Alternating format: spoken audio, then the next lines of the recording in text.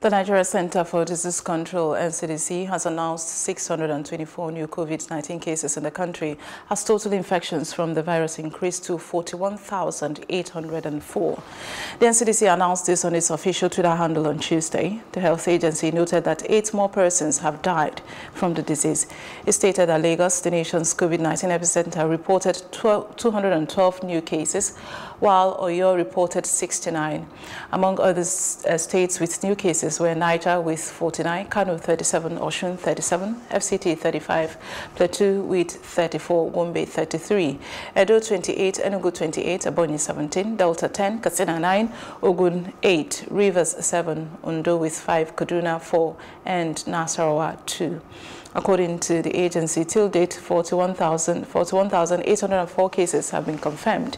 18,764 cases have been discharged and 868 Eight deaths have been recorded in 36 states and the Federal Capital Territory.